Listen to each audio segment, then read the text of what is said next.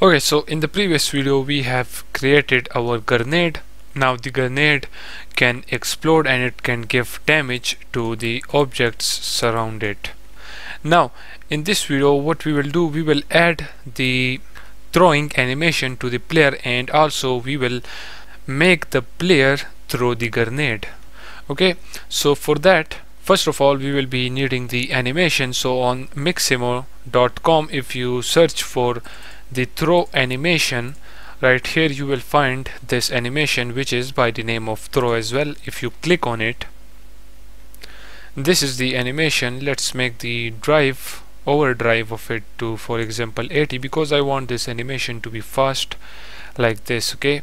Then just simply click on download and change the format to FBX for Unity and the skin to without skin. Click download and once it is downloaded click on player model animations. And right here let's click on show in explorer. Open up the animations folder and right here we will cut this animation and paste it. Then if we open up unity let's find the animation which is this one right here throw. Let's click on its rig make it humanoid copy from other avatar and let's select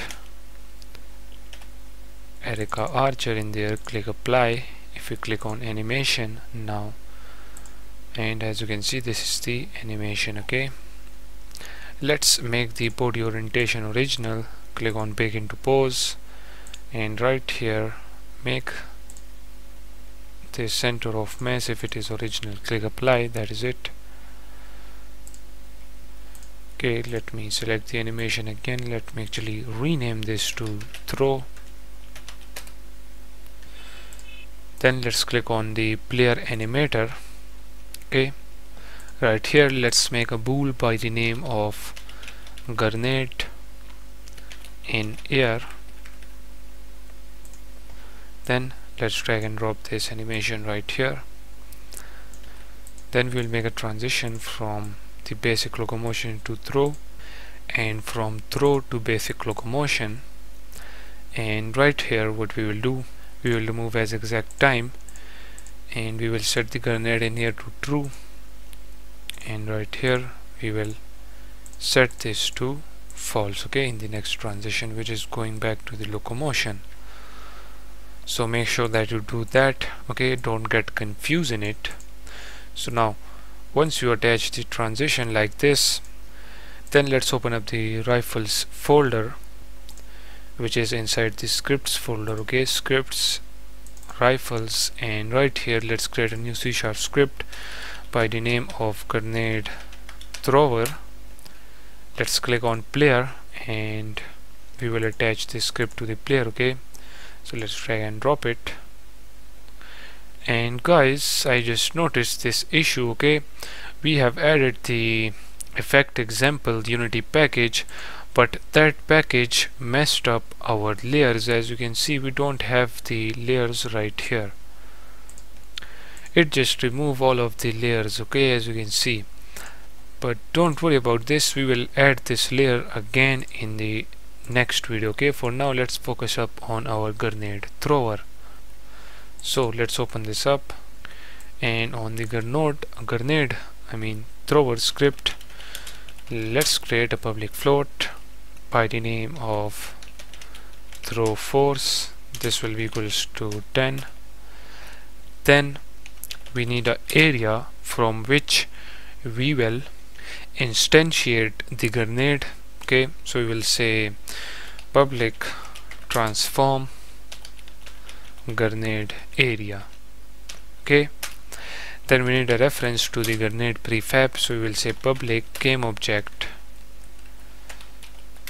And let's name this as grenade prefab.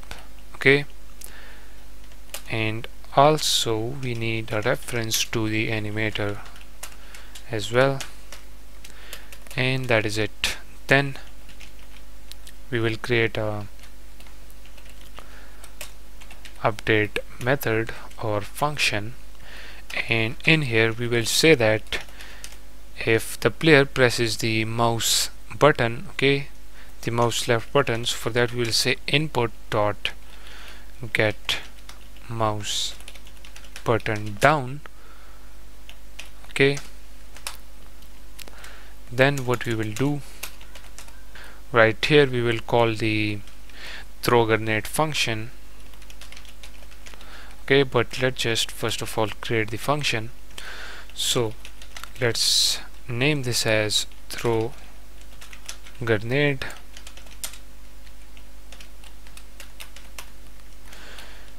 And in here we will create a game object by the name of grenade.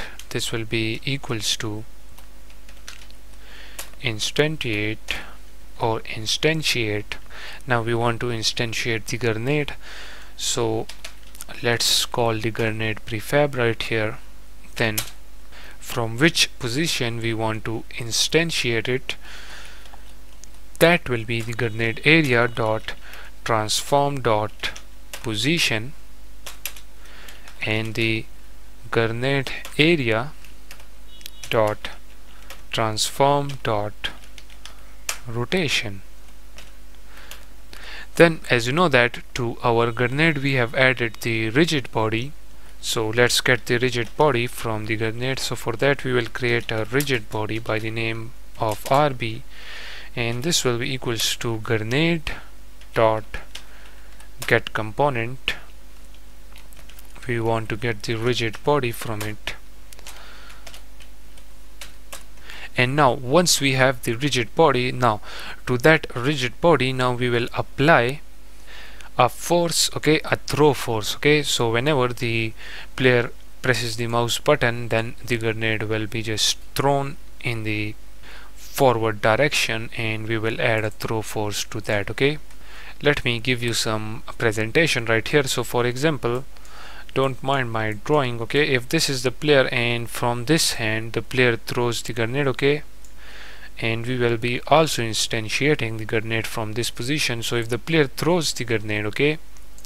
Now the grenade will move in the forward direction and its throw force will be 10 okay? So that is the reason we are getting the rigid body from the grenade to apply a force to it. So you will be seeing how we will apply force to rigid body. For that it is simple. Just type RB okay which is this rigid body reference. Then for that for adding the force unity provide the add force function. And this needs the direction in which direction we want to apply the force. So that will be grenade area dot transform dot forward and we will multiply that by the throw force. Then we will say force mode dot velocity change. And if you don't know what this force mode dot velocity change is you can check the unity documentation on it okay? As you can see what this does it just add a instant velocity change to the rigid body ignoring its mass.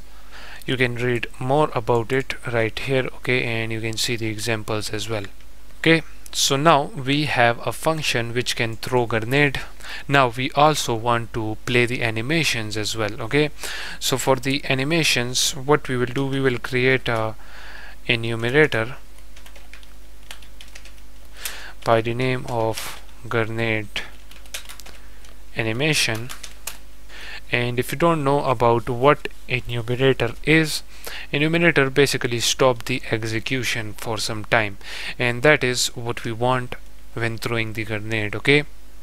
So for example when we play the grenade throw animation after that we want to call this throw grenade function okay which will apply some force to the grenade prefab okay and then of course when this throw grenade is called this will basically instantiate a grenade and after 3 seconds okay the grenade will simply explode okay? So right here first of all we want to play the grenade through animations. For that we will say anime dot set bool and as you know that we have created a bool by the name of grenade in air so we will say grenade in air make sure that you type the name correctly.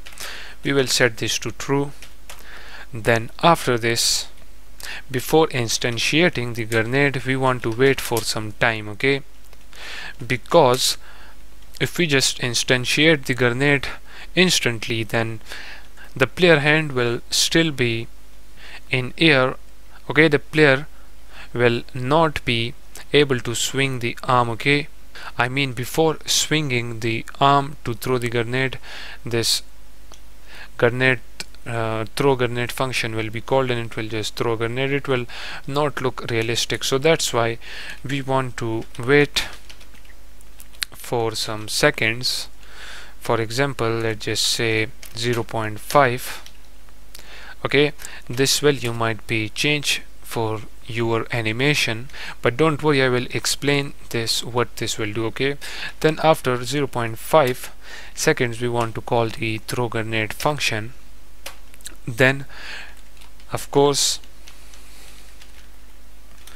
we will wait for for example one second. And after the one second we will make this to false okay and the reason we are waiting for one second is we want the animation to be finished first of all. And that is it. So what this will do this will basically do the work which we needed. So now in the function right here let's say start coroutine and in here let's call the grenade enemy and that is it so if we get back now we have the throw force now we need these three references. So first of all as you know that we already have a prefab for this grenade so let's just delete this grenade from the hierarchy. Let's click on prefab. We have the prefab right here. So just simply drag and drop this in there in the grenade prefab. It needs the animator so drag and drop the animator. Then we need the grenade area so for that inside the player main game object will create an empty game object by the name of grenade throw area. Okay and we will click on player and let's assign this right there. Okay now let's click on this grenade throw area and let's move this for example right here. Okay we will be moving this even more but let's just play the game and see how does it looks. Okay so this is the player and the player has the grenade. So now if you press the fire button as you can see it is instant instant I'm sorry I'm unable to pronounce it. So as you can see the grenade is being instantiate but we can't see the explosion okay there is the grenade. And as you can see the grenade is now exploded okay? Let's throw it right there as well. That is the grenade and as you can see the grenade is now working perfectly fine. If you notice it okay we can throw grenades everywhere we want.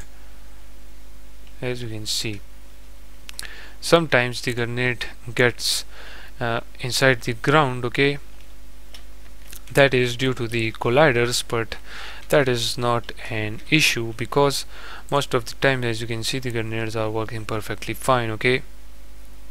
This is just due to these colliders issues with the surface but actually it is not an issue okay? As you can see the grenades are working fine but sometimes it get inside the ground okay and in order to fix this issue if we select this road okay this is by the name of road. So let's search for road. And let's select all of the roads okay because it is going inside this road. So what we will do as you can see the roads box colliders are a lot thinner okay. So in order to fix this what we need to do is let's increase the box collider height like that to something like 0.03 like that. Let's play it. And now if we throw the grenade okay it is still going inside the road. Let's increase it even more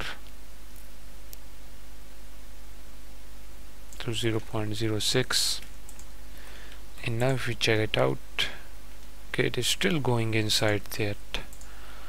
Just make the size y of it as minus 0.1 okay? Then this will actually fix the issue. So if we play it then let's throw the grenade. Now as you can see the grenade stays on the ground okay? So it was just an issue with the collider of the ground. If you don't have this issue then you are feel free to skip this part okay? But if you have this issue then make sure that your colliders are a little bit higher in the height. So now we can now throw grenades. But if we play the game again you will notice that the grenade is coming of the player hand. But if your grenade is instantiating from some other place then make sure that your throw area matches the position of the animation when the player is swinging the arm okay? For example if we duplicate this animation and set this as default okay then if we play the game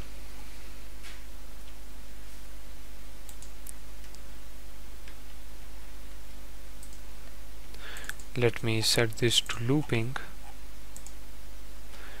And when this is set to looping now as you can see the player is throwing I mean playing the animation again and again. So when it is playing the animation again and again just simply select your throw area in the scene view and make sure that this matches the player hand position. Okay as you can see my one is already matching the player hand position. So that's why the grenade is coming out from the player arm but I can move this a little bit down below like this okay? And then before closing the game I will simply click on this dots click on copy component and then stop the game select that area click on this click on paste component values okay? And then click on animator remove that click on this throw animation remove the loop time and then if we play the game again now let's throw the grenade again. As you can see now the grenade is now even more perfect as if it is coming out of the player hand.